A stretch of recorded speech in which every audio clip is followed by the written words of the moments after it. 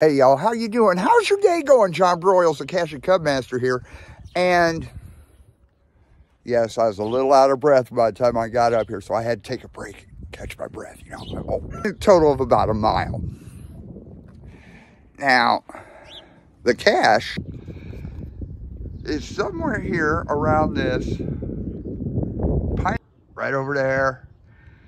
Clarence is really uh, making some noise. Uh, you see my coffee cup sitting there.